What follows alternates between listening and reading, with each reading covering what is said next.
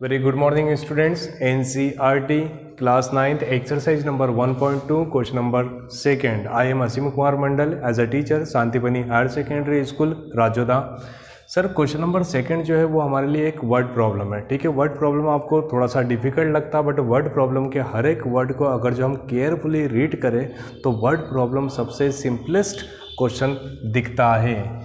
Are the square कहीं ना कहीं ये एक क्वेश्चन मार्क है हमारे लिए, ठीक है? इंट्रोगेटिव सेंटेंस से रिप्रेजेंट हो रहा है यहाँ से। द स्क्वेयर रूट क्वेश्चन में बोला है square root what is the mean of the square root ठीक है, आपने जब भी स्क्वेयर रूट के बारे में कुछ भी देखा तो मन में आया ये signature square root of all positive integer मतलब मुझे सिर्फ़ और सिर्फ़ पॉजिटिव नंबर्स की बात करें। इंटीजर मतलब क्या होता है स्टूडेंट इंटीजर मतलब कहीं ना कहीं one two three four five six ठीक है, मैं यहाँ पर, ठीक है, आपको समझाऊँगा मतलब कहीं ना कहीं ये बोल रहा है root four root nine root sixteen root twenty five sir, आप बोलेंगे, सर, आपने वन टू थ्री नहीं लिया है, बीच में आपने five six seven but sir, आपको इन नंबर्स की स्टैंडर्ड वैल्यू पता है, इसलिए मैं ये एग्ज़ाम्पल ले रहा हूँ। क्वेश्चन में बोला है the square root of the all positive integer four का स्क्वेयर रूट कितना होता है? टू नाइन का कितना होता है? थ्री सिक्सटीन का कितना होता है? फोर ट्वेंटी फाइव का कितना होता है? फाइव ठीक है? क्वेश्चन में बोल रहा है the square root of all positive integers if not gives example मतलब कहीं ना कहीं इस क्वेश्चन में ये पूछा है, ठीक है? द स्क्वेयर रूट ठीक है? स्क्वेयर रूट किसी भी नंबर का स्क्वेयर रूट जो होता है, वो पॉजिटिव फॉर्म में आता है या नहीं? The square root of all positive integer is a irrational number irrational ठीक है, कहीं ना कहीं यहाँ पर हमसे ये बोला जाता है इरेशनल क्वेश्चन में। ठीक है, क्या बोल रहा है सर वो आपसे? ठीक है the square root of any positive the square root of any positive number is a irrational number sir मैं फिर से आपको बता रहा हूँ। सर पॉजिटिव नंबर तो आपको समझ आ गया पॉजिटिव नंबर होता है four five six seven eight nine ten जब इनका स्क्वेयर रूट निकालेंगे तो वो इरेशनल मतलब रूट के फॉर्म में आना चाहिए। तो आप ज़रा ध्यान से देखिए क्या ये हमेशा ऐसा होता है क्या? जब भी आप पॉजिटिव नंबर लेते हो तो उसका स्क्वेयर रूट एक रूट के फॉर्म में आता है क्या? यस और नो तो मुझे आंसर मिला नो ठीक है? मैं कहीं ना कहीं, ठीक है, आपको आंसर समझा रहा हूँ। क्वेश्चन में ये बोला है the square root of positive integer किसी भी पॉजिटिव इंटीजर का स्क्वेयर रूट एक इरेशनल नंबर होता है। तो इरेशनल नंबर किसको बोलते हैं? रूट के फॉर्म में जो आता है, उसको इरेशनल बोलते हैं। तो सर आपको ये जो आंसर से ये रूट के फॉर्म में दिख रहे हैं क्या? यस और नो नहीं। तो मेरा आंसर हो जाएगा नो ठीक है, उसने बोला है, अगर जो आपका आंसर नो है तो आप कुछ एग्जाम्पल्स बताइए। तो मैं एग्ज़ाम्पल ले लेता हूँ सर आपके सामने। ठीक है we have the number of examples are there for example root four equal to two root nine equal to three root twenty five equal to five root thirty six equal to six और आप बोलेंगे बड़ा number one twenty one equal to eleven ठीक है? आई बात समझ में सभी को? ठीक है? Thank you student next question question number third ध्यान से देखेंगे। Locate root five on the number line sir इस क्वेश्चन में मुझे ये बताया जा रहा है कि रूट फाइव को नंबर लाइन पर रिप्रेजेंट करना है। सेकंड मैं कहीं ना कहीं बता सकता हूँ रूट फाइव क्या है? एक इरेशनल नंबर है। अभी तक हमने सारे रेशनल नंबर को, ठीक है, जैसे हमने बचपन में थ्री फोर फाइव किसी को भी हम नंबर लाइन पे रिप्रेजेंट कर सकते थे बट अभी मेरे पास क्वेश्चन है, एक इरेशनल नंबर के फॉर्म में मुझे मुझे बताना है रूट फाइव ठीक है नंबर लाइन पे कहाँ पर आएगा। तो चलिए ध्यान से देखते हैं, ठीक है, एक सिंपलेस्ट फॉर्म में देखेंगे, ठीक है given given number equal to root five जब मैं इस क्वेश्चन को करूँगा तो मेरे मन में सिर्फ़ और सिर्फ़ स्टेटमेंट ऑफ़ पाइथागोरस थ्योरम आना चाहिए। मतलब मैं रूट फाइव को कहीं ना कहीं वन प्लस फोर के फॉर्म में ब्रेक कर सकता हूँ। सर वन प्लस फोर लिखूँ या फोर प्लस वन लिखूँ डिपेंड्स ऑन मी ठीक है? तो जरा ध्यान से देखिए, मैं वन को वन का स्क्वायर बट फोर को टू का स्क्वायर लिख सकता हूँ। आपको कहीं ना कहीं बात समझ आ रही है?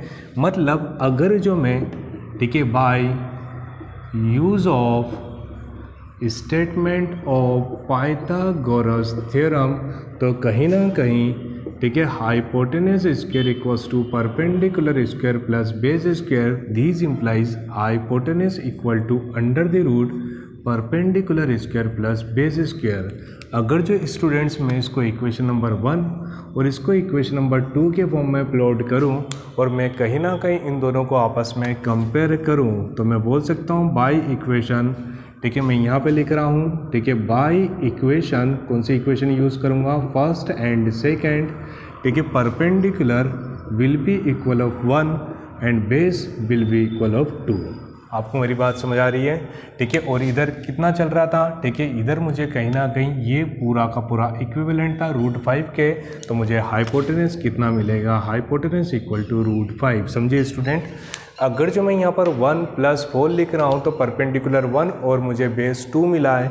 बट अगर जो मैं फोर प्लस वन लिखता तो मुझे परपेंडिकुलर टू और बेस वन मिल जाता। चलिए, अब मेरे पास ठीक है एक नई प्रॉब्लम है। सर, मुझे रूट फाइव को नंबर लाइन पे रिप्रेजेंट करना है। तो ज़रा ध्यान से देखिए नंबर लाइन मतलब क्या होता है? ठीक है ये पूरा एक्सप्रेशन जो है, ये एक नंबर लाइन है।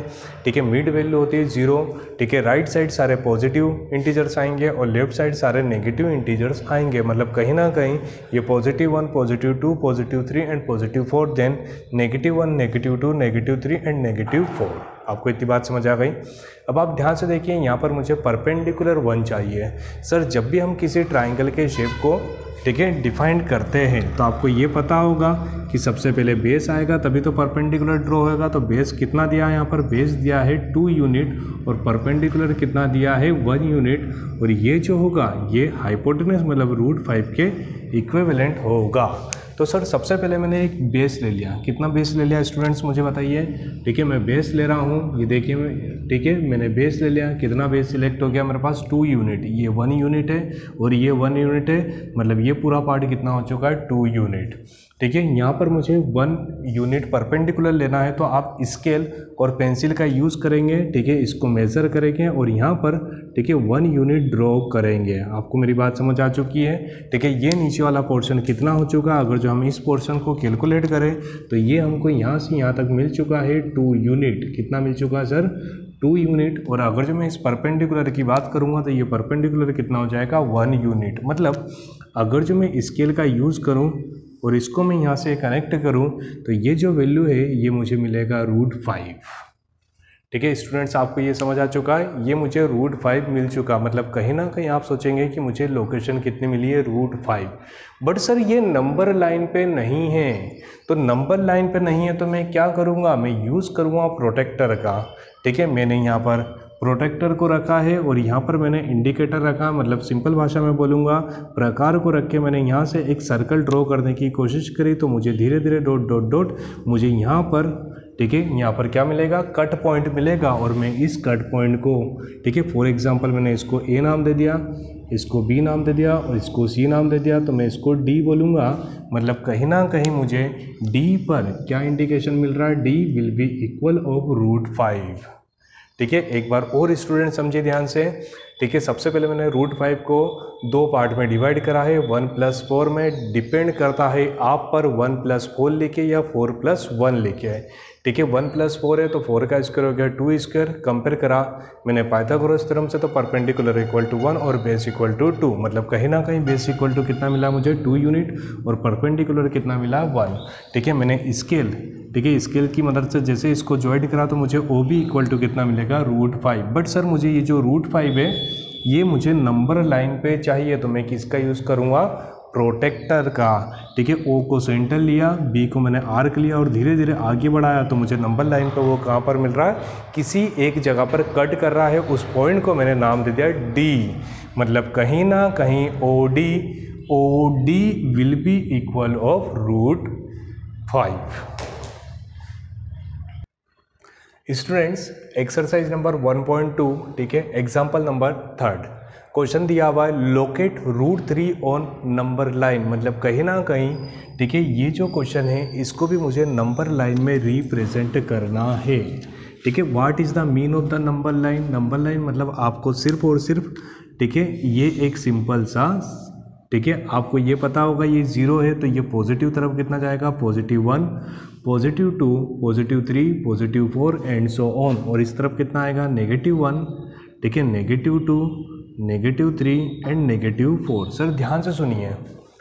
ध्यान से सुनिए ग्राफिकल रिप्रेजेंटेशन में इस तरफ़ पॉजिटिव होता है और इस तरफ़ नेगेटिव होता। है ठीक है बट नंबर लाइन के केस में आप इधर पॉजिटिव और इधर नेगेटिव भी ले सकते हैं। सेकेंड वन थिंग ये जो डायग्राम है, ये मैं रफ डायग्राम बना रहा हूँ बट आप जब एग्ज़ाम में या अपनी फेयर कॉपी में नोट करेंगे तो इसको पर्टिकुलर ठीक है इक्वल पार्ट से बनाएँगे। मतलब कहीं ना कहीं स्केल पेंसिल का आपको यूज़ करना पड़ेगा। नाउ ठीक है, हमको जो मैं नंबर दिया हुआ है, ठीक है, ज़रा ध्यान से देखिए ठीक है मुझे नंबर क्या दिया हुआ है, मुझे नंबर है रूट थ्री, ठीक है, मैं रूट थ्री को, ठीक है, रूट थ्री को मैं कहीं ना कहीं वन प्लस टू या टू प्लस वन लिख सकता हूँ, ठीक है आई रिपीट माई स्टेटमेंट मैं या तो ठीक है, वन प्लस टू, ठीक है, ध्यान से सुनिए, या टू प्लस वन लिख सकता हूँ तो अगर जो मैं रूट थ्री को ठीक है वन प्लस टू लिख चुका हूँ तो मुझे वन प्लस टू मतलब रूट टू का होल स्क्वेयर और वन का होल स्क्वेयर बात समझ आ रही है? अब सर ये जो मेरा स्टेटमेंट आ चुका है, मैं इसको कंपेयर करूँगा। ठीक है by statement of Pythagoras theorem क्या होता है पाइथागोरस थ्योरम ठीक है hypotenuse square equals to under the root perpendicular square plus base square ठीक है, चले जा धीरे धीरे देखते हैं। ठीक है by equation first and second by equation first and second ठीक है हाइपोटेनियस मुझे कितना मिल रहा है? रूट थ्री ठीक है, सभी को दिख रहा होगा। परपेंडिकुलर की पोजीशन पे कितना दिख रहा है? वन और बेस की पोजीशन पे मुझे कितना दिख रहा है? रूट टू तो सर, मेरे पास एक और बड़ी समस्या आ गई। मुझे रूट टू को रिप्रेजेंट करना पड़ेगा। ध्यान से सुनिए सर मुझे। मुझे पहले किसको रिप्रेजेंट करना पड़ेगा? रूट टू को। तो रूट टू के लिए फिर से कहीं ना कहीं हम रफ में जाते हैं। ठीक है, आराम से देखिए। ठीक है रफ में रूट टू कितना होगा सर? वन प्लस वन मतलब कहीं ना कहीं वन का स्क्वायर प्लस वन का स्क्वायर आराम से देखिए सर। ठीक है? बिल्कुल। मुझे यहाँ पर बेस कितना लेना है? रूट टू और रूट टू भी एक इरेशनल नंबर होता है। तो मुझे कहीं ना कहीं पहले रूट टू को नंबर लाइन पे रिप्रेजेंट करना पड़ेगा। फिर रूट टू के बेसिस पे उसकी मदद से मैं रूट थ्री को रिप्रेजेंट करूँगा। सर इस केस में परपेंडिकुलर कितना है? वन यूनिट मतलब है मैं सबसे पहले बेस कितना ले रहा हूँ? मैंने बेस ले लिया वन यूनिट और परपेंडिकुलर भी कितना ले लिया मैंने? वन यूनिट आप सब देख पा रहे होंगे है मैंने बेस भी कितना ले लिया वन यूनिट और परपेंडिकुलर भी कितना ले लिया है मैंने? वन यूनिट जब मैं इस दोनों को है मैं इस दोनों को यहाँ पर कनेक्ट करूँगा तो इस कंडीशन में ये जो मेरा हाइपोटेनियस होगा, ये कितना होगा? रूट टू सर, मैं बता रहा हूँ, ये क्वेश्चन लास्ट क्वेश्चन के कंपैरिजन में 300 टाइम्स डिफरेंट है। ठीक है और डिफ़िकल्ट भी इसलिए ज़रा ध्यान से देखिए, मेरा क्वेश्चन था रूट थ्री तो मैंने रूट थ्री को डिस्ट्रीब्यूट करा वन प्लस टू में। सर वन को मैं लिख सकता हूँ वन का स्क्वायर और टू को लिखा मैंने रूट टू का स्क्वायर मतलब कहीं ना कहीं मुझे परपेंडिकुलर और बेस वन और रूट टू के फॉर्म में मिल रहे हैं। तो सर रूट टू ऑलरेडी एक इरेशनल नंबर है। तो मैं इसको कैसे रिप्रेजेंट करूँ? तो मेरे को पहले रूट टू को प्लॉट करना पड़ेगा। बात समझ आ रही है? तो रूट टू को मैं कितना लिखूँगा? वन प्लस वन ठीक है वन प्लस वन मतलब परपेंटिकुलर भी वन है और बेस भी वन है। फिर मैं क्या यूज़ करूँगा? मैं प्रोटेक्टर का यूज़ करूँगा, इसको सेंटर लूँगा और इसको मैं आर्क लूँगा। तो मुझे कहीं ना कहीं एक राउंड शेप में मिलेगा। ठीक है एक पॉइंट मिलेगा, मैं उस पॉइंट को कितना बोलूँगा स्टूडेंट्स? Root two. मैंने इसको ओ दिया है। इसको मैं कैपिटल ए इसको मैं कैपिटल बी और इसको सी से डिनोट कर रहा हूँ। मतलब मुझे सी पर कितना मिल चुका है? मुझे सी पर मतलब मैं कहीं ना कहीं इस क्वेश्चन में O C equal to root two बोल सकता हूँ। ठीक है? चलिए, अब मैंने, ठीक है बेस फाइंड आउट कर लिया। बेस मतलब कितना? रूट टू और मेरे पास रूट टू कितना आ चुका? है ओ सी आपको मेरी बात समझ आ रही है? ठीक है नाउ ओ सी जो है मेरा वो बेस हो चुका है और परपेंडिकुलर कितना लेना है? वन। मतलब कहीं ना कहीं इस पर वापस से एक परपेंडिकुलर ड्रॉ होगा, उसका यूनिट कितनी होगी? वन। आ रही स्टूडेंट समझ में? ठीक है अब मैं ठीक है ये जो पॉइंट मिला मुझे डी कौन सा पॉइंट मिला मुझे डी तो मैं ओ और डी को कनेक्ट करूँगा। ठीक है आई होप आपको समझ आया होगा। और ओ डी जो है मेरे पास ठीक है according to the question O D कितना आ जाएगा? ओ से डी मेरे लिए हो गया रूट थ्री आ रही बात समझ में पर ये जो ओ डी है, ये डी कहाँ पर मिला? मुझे आसमान पे, मुझे कहाँ पे लेना है? नंबर लाइन पे। तो मैं वापस से प्रोटेक्टर का यूज़ करूँगा। ठीक है ओ को सेंटर लूँगा ठीक है डी से जैसे ही ड्रॉ करूँगा। ठीक है तो कहीं ना कहीं मेरा ठीक है आ रही बात समझ में तो ये मेरे लिए कितना हो चुका है? इस पॉइंट को मैंने नाम दे दिया ई कितना नाम दे दिया? ई और ये जो मेरा ई है, ये रिप्रेजेंट करेगा रूट थ्री को। आपको पता ही होगा रूट थ्री की standard value one point seven three two मतलब कहीं ना कहीं ये टू से पहले मुझे मिलेगा।